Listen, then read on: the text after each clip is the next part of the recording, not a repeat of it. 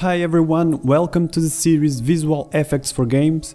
This is the tutorial number 20 and this time we are going to see how to create some rain that includes clouds, mists and ripples and splashes for the rain. We can also see some lightning, but the thunder deserves a tutorial of its own and that's only for the next video, otherwise this one would be too long. If you want you can support me on my Patreon page and get access to these and much more effects. I left the link in the description. So let's see how we can do this. And this time we are going to start in Photoshop. You can also use GIMP to create this texture. And we can start by creating a new file, which is going to be for the clouds, with a resolution of 500 by 500. Let's paint the background to black, create a new layer with Ctrl Shift N, and change our color to white. Now we can select one of these brushes one that you like. I found out that this one works well and then with a few brush clicks we can start creating our texture to look like a cloud. You can play with the opacity and with the size, something like this. We can also use the erase tool with the same brush and create some voids, some empty spaces. Once we have a texture similar to this one, we can hide the black background and export a PNG to Unity. Now we can go to Unity, create a new material, and this one I'm going to rename it to Cloud01. Change the shader to Particles Additive or Particles Alpha Blended if you want to add some dark colors. Drag our texture to the texture slot and let's create a new particle system. We can rename it to Clouds. The rotation is going to be 0 in all the axes and one of the most important things is the shape and the shape for the clouds is a box. In my case I'm going to make the X and Z with values of 100 and give it some thickness with the Y axis, like this. As you can see the particles are moving too much, so let's decrease the start speed to around minus 0.2 and 0.5. For the start lifetime we can set it to some bigger values like 10 and 15. Let me just push this up, like this. And let's drag and drop our clouds material. And now the start size, it's going to be really big, something between 15 and 25. At least for my scene, this really depends on the size you have in your scene. You can also make sure that every time a particle spawn, it has a different start rotation. You can make sure it's between 0 and 360 degrees and let's turn on randomized rotation. Now as you can see we have to decrease the alpha of the start color and we can make it random between two colors and decrease the alpha to really small values like this. Alright, now we only need to fade in and fade out each particle and we can do that with the color over lifetime. The keys on top control the alpha and the keys at the bottom controls the colors.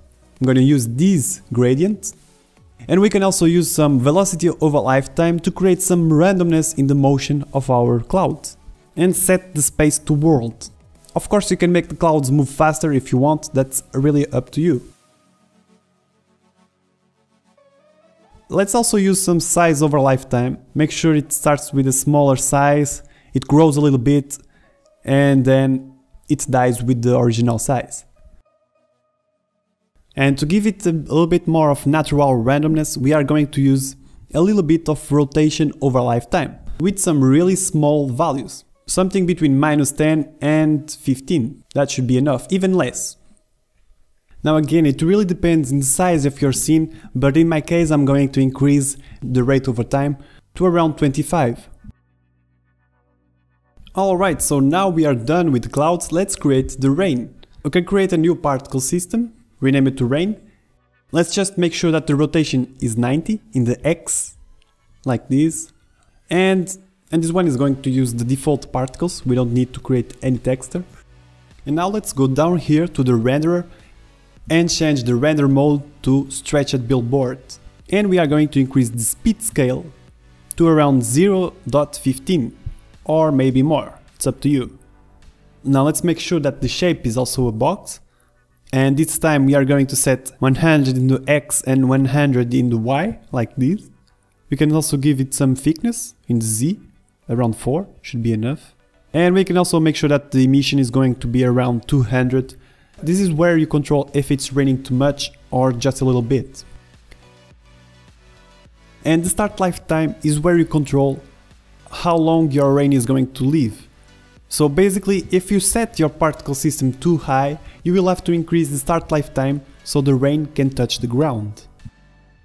And the start speed is the speed of the rain, in this case, and between 15 and 25 I think is I think it's good. You can increase it more, alright. We have some weird rain. and now we only need to make sure that the rain is really thin. It's really thin. So let's decrease the start size to be random between 0.05 and 0.15. This looks more like rain.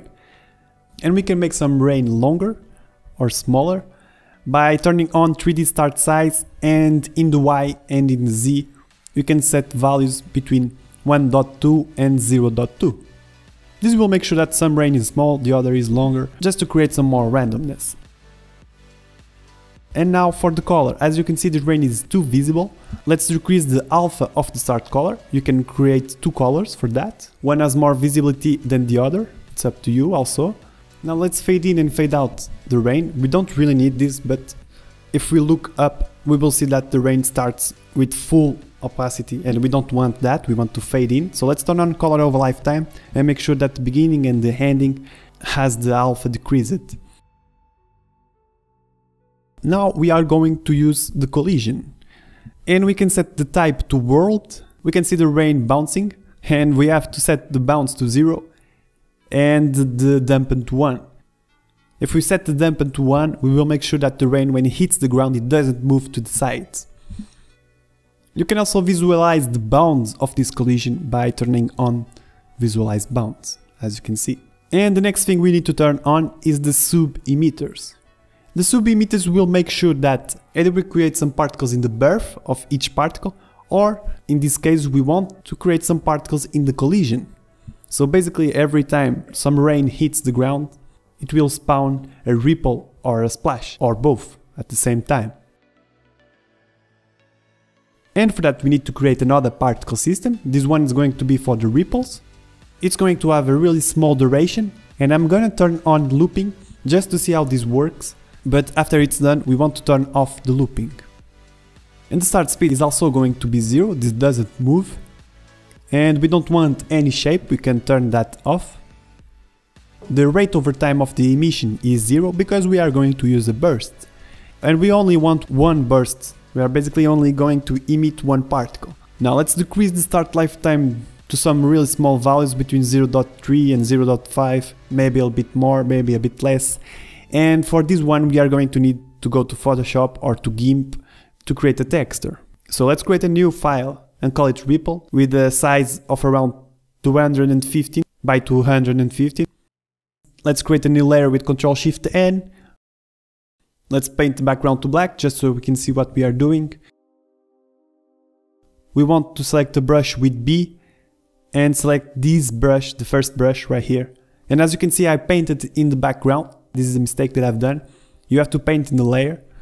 And we want to paint a big circle like this one with opacity of around 20 or 30. And then we want to paint a really small circle in the center like this and another one in the center also. Once we have this done, we want to create a shape, a circle shape, an elliptical shape. We can select this tool right here. And you can hold shift and alt to create a proportional circle.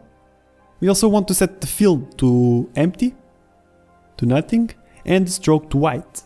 The fill of the layer is also going to be around 20, maybe less, maybe more, and we can double click in the ellipse to access the layer style so we can turn on the outer glow. Once we are in the outer glow, we want to set it to white and increase the size. And we can also decrease the opacity.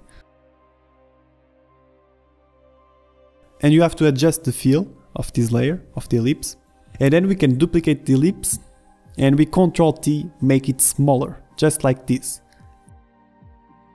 And this is pretty much done. Once we have something like this, we can hide the black background and export as a PNG to Unity. Back to Unity, we want to create another material, change the shader to particles additive, and drag and drop the texture we have just created. And now we can drag the material to the ripples. In the ripples, let's change the renderer horizontal billboard. Let's also fade in and fade out the ripple with color over lifetime. And in this case, the start size is going to be random between 1 and 1.6.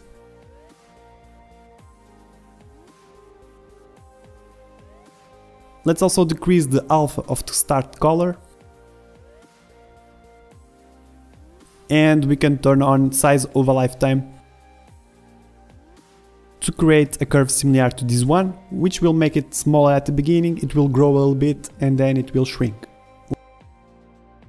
Once we have all this set up, we can go back to the rain and in the sub emitters, now we can drag and drop our ripples, just like this. And Unity is telling us that it needs to reparent our particle system to the rain. And we can say yes. And once we do this, if you look closely now, each time the rain hits the ground, it's going to spawn a ripple. Which is quite cool in my opinion. Okay, so now we need another sub-emitter, which is the splashes. So let's go ahead and create a new particle system, rename it to splashes. Let's set the start lifetime to be random between 0.6 and 1, and the duration is also going to be 1. And by the way, don't forget to turn off looping of the ripples. Back to the splashes, we want to set the start speed to 0 and the start size to 0.01 and 0.08. And we don't need to create any other texture, the default particles should be fine. In the emission, let's set the rate over time to 0, we want to use a burst that's going to be random between 1 and 4. Alright, now for the shape we want to use a circle, a very small circle, as you can see. And now we want to use the velocity of over lifetime to make sure that the splashes goes up and a little bit to the sides. Don't forget to set the space to world and in the Y we can set random values between 2 and 5 as you can see it goes up and let's just make sure that in the X and in Z we have values between 1 and minus 1. Now, if we want these to go up and down, we can use the gravity modifier and the value of 0.6 should be enough. And now as you can see we have some cool splashes. Let's just make sure that we fade in and fade out with the color over lifetime. And if you want, you can use some size over lifetime as well similar to what we have been using. Let's also decrease the alpha of the start color. Just like this and now we can go back to the rain and drag and drop our slashes. We can say yes again we want to reparent our splashes to the rain. And now as you can see the splashes may be a little bit bigger or maybe you have to decrease the opacity.